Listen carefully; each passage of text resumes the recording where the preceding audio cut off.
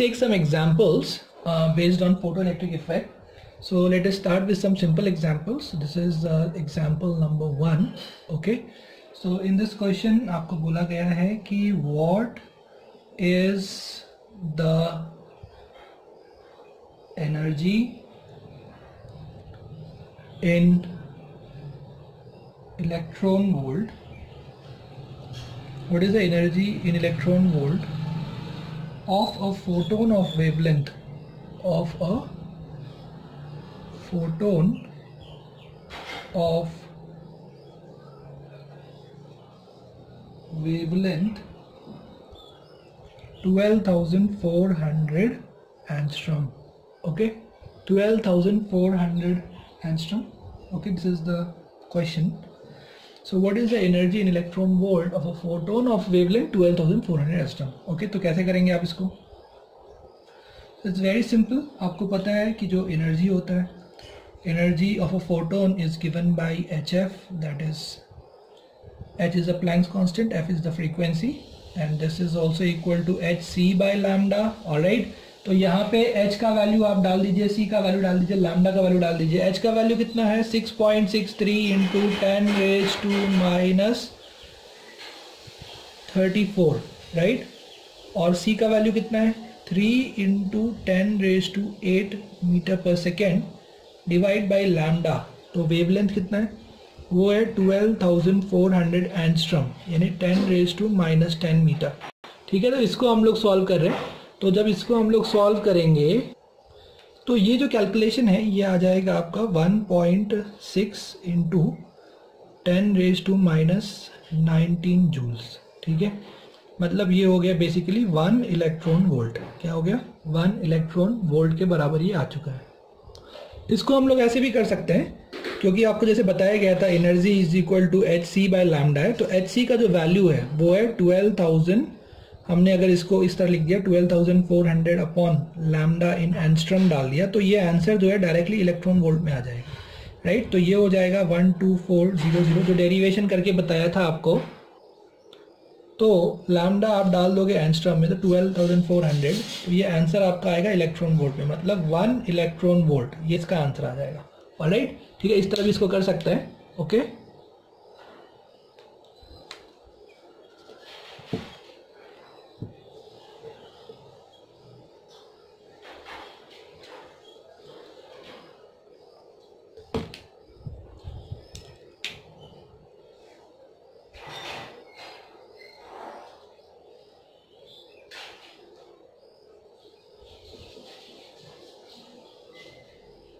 so this is uh, the next question that is we're talking about you know will the photoelectrons be emitted so यहाँ पे जो है एक हम लोग यहाँ पे क्वेश्चन दे रहे हैं जिसमें कि आपको वेवलेंथ ठीक है दिया रहेगा और क्वेश्चन पूछा गया है कि will photoelectrons be emitted from a copper surface right so please note down this question all of you from a copper surface of work function. तो आपको इसका वर्क फ़ंक्शन दिया गया है of work function so please note down आप लोग सब note down करिए. You have to try this question attempt this question work function दिया गया है four point four electron volt right और uh, पूछा गया है कि when illuminated when illuminated by visible light ठीक बाय अ विजिबल लाइट तो जब विजिबल लाइट इस पर इंसिडेंट होगा तो क्या इसमें से फ़ोटो इलेक्ट्रॉन्स एमिट होंगे? ये पूछा गया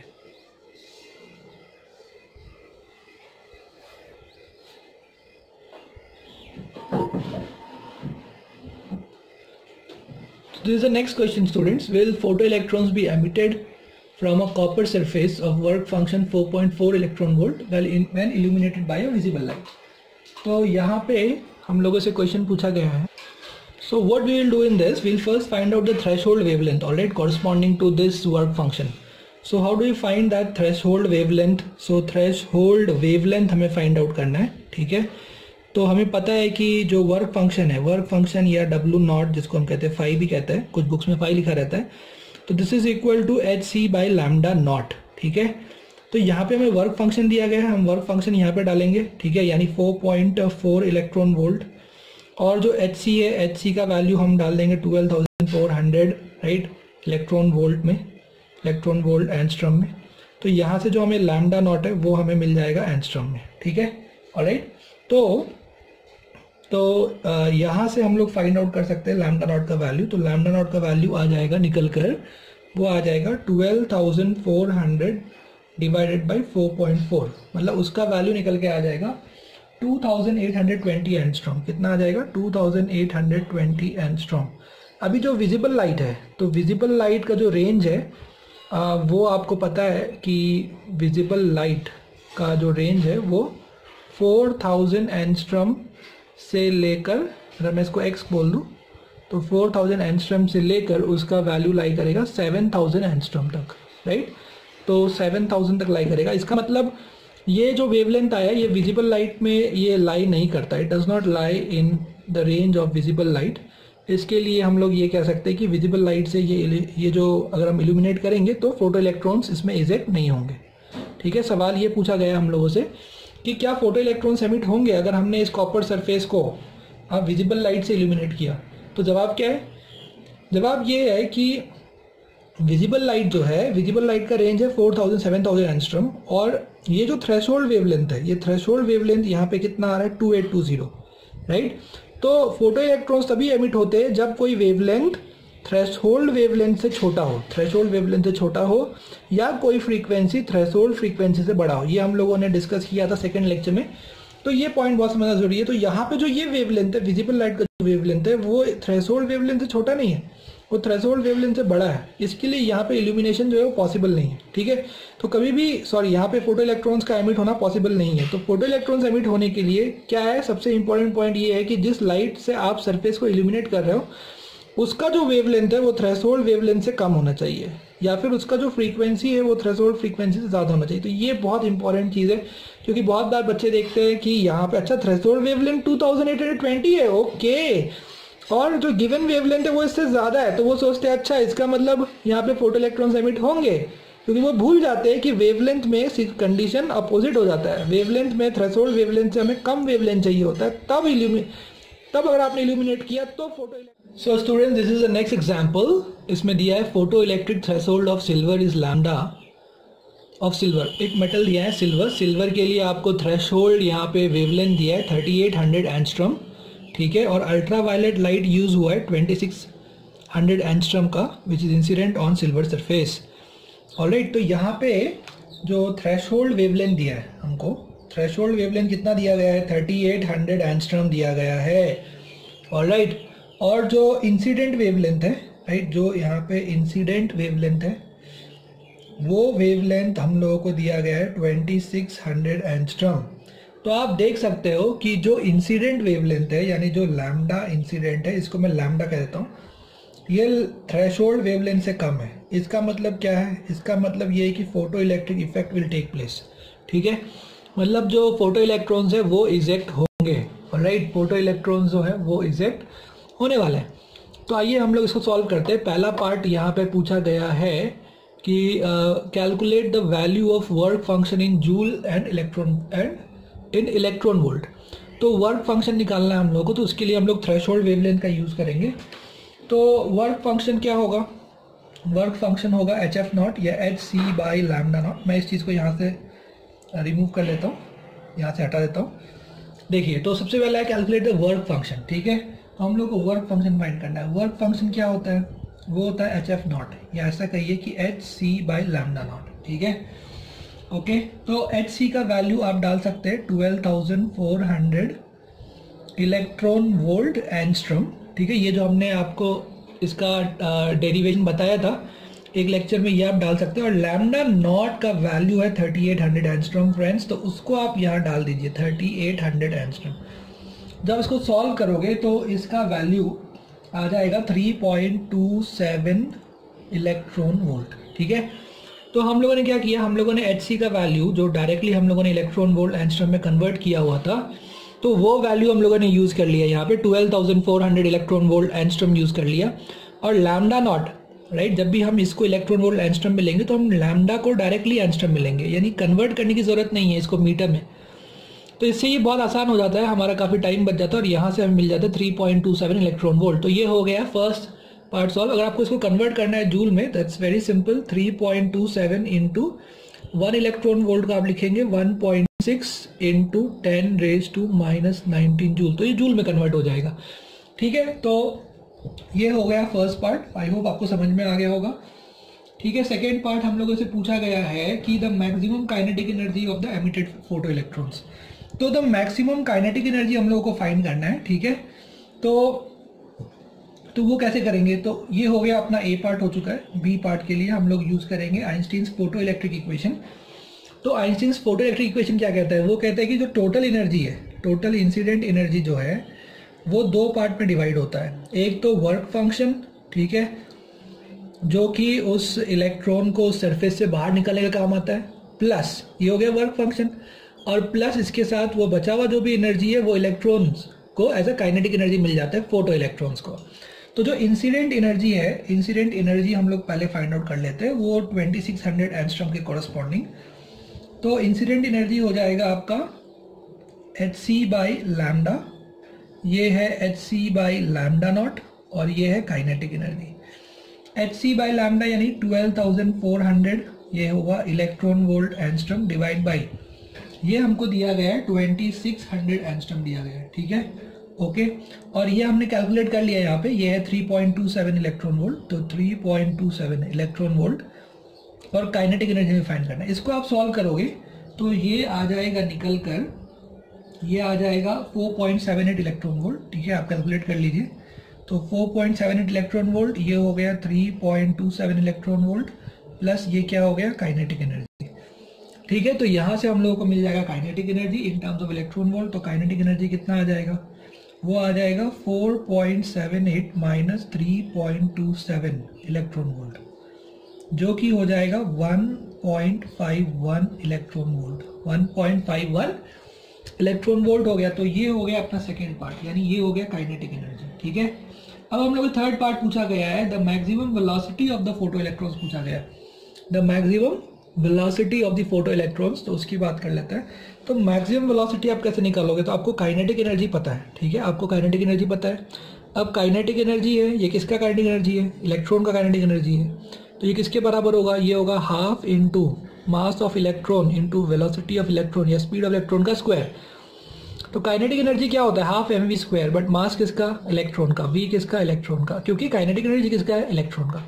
तो ये है 1.51 इलेक्ट्रॉन वोल्ट तो इस इलेक्ट्रॉन वोल्ट को हम लोग जूल में कन्वर्ट कर लेंगे।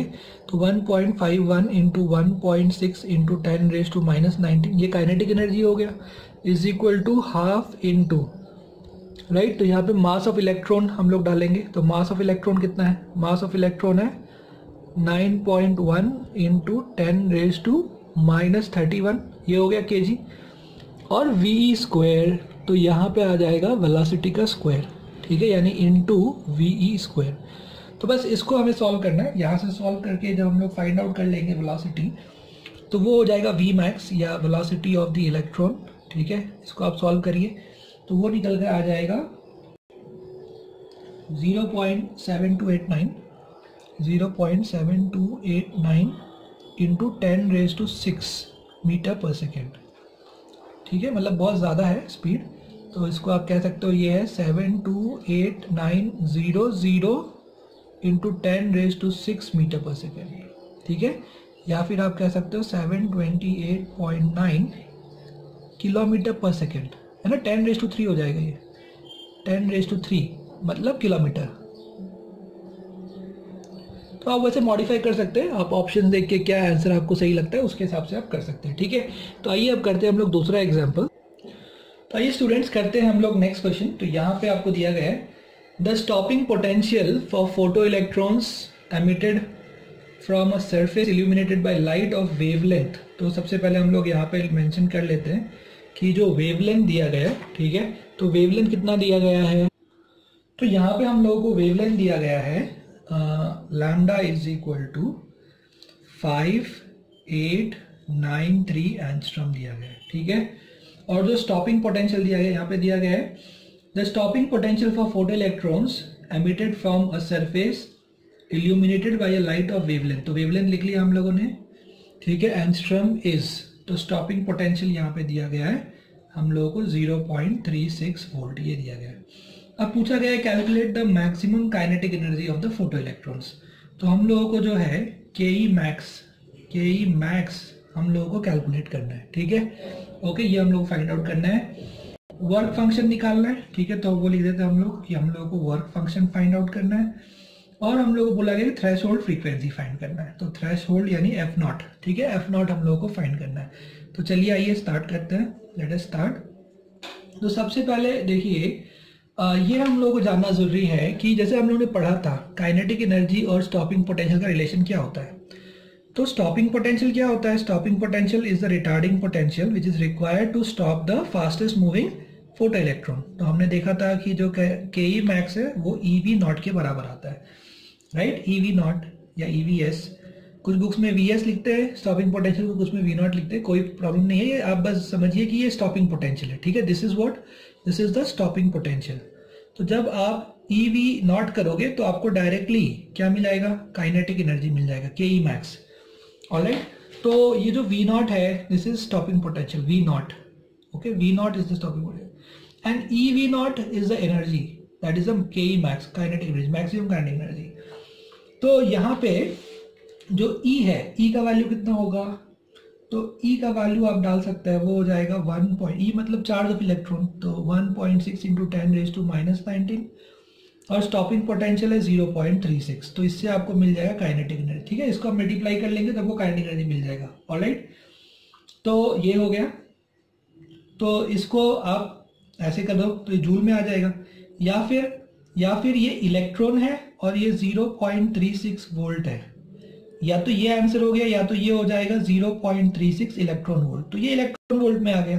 ठीक है? तो आप चाहो तो जूल में निकाल लो। जूल में निकालना है तो आपको 1.6 point six into ten to minus nineteen से मल्टीप्लाई करना होगा। और अगर आप चाहते हो इलेक्ट्रॉन वोल्ट में रहे तो ऑलरेडी यहाँ पे एक इलेक्ट्रॉन एक वोल्ट है। तो ये 0.36 इलेक्ट्रॉन वोल्ट हो जाएगा। ठीक है? ये पॉइंट समझ में आ गया होगा आप लोगों को। अच्छा तो हम लोगों का फ़र्स्ट पार्ट हो चुका है के ई मैक्स अब हम लोग फाइंड करते हैं वर्क फ़ंक्शन ठीक है? तो हमको पता है जो इंसिडेंट एनर्जी है टोटल एनर्जी तो इंसिडेंट एनर्जी क्या होता है? वो होता है work function plus K E max के बराबर। ठीक है? Work function plus K E max के बराबर। तो अभी हम लोगों को यहाँ पे दिया गया था stopping potential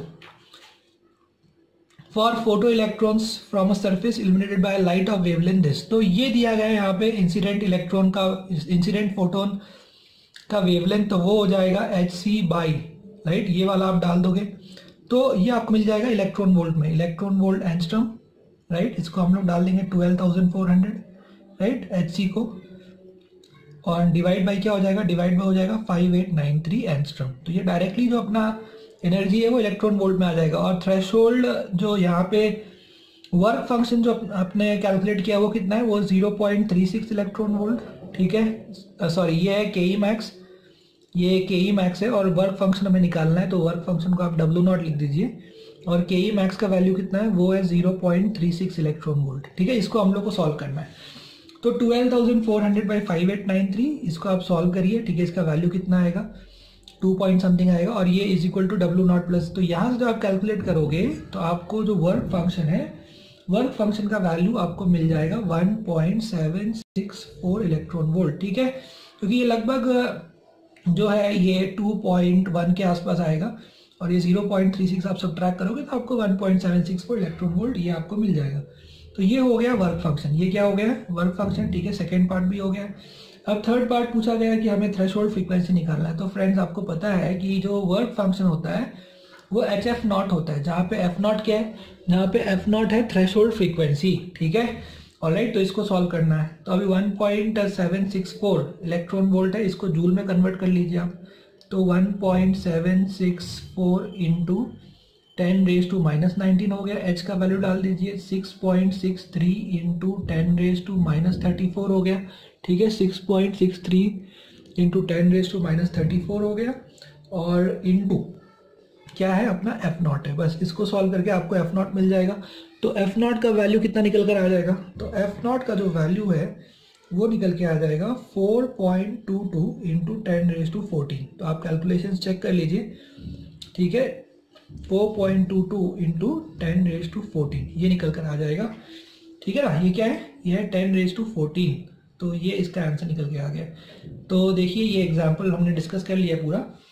तो इस एग्ज़ाम्पल में सबसे इंपॉर्टेंट चीज़ क्या है? इस एग्ज़ाम्पल में सबसे इंपॉर्टेंट चीज़ ये है कि जो के ई मैक्स है के ई मैक्स का वैल्यू होता है ई वी एस या ई वी नॉट ई क्या है? E is the charge of electron V naught is the stopping potential ठीक है? Charge of electron into stopping potential तो ये सबसे इंपॉर्टेंट चीज़ है यहाँ पे। ये सबसे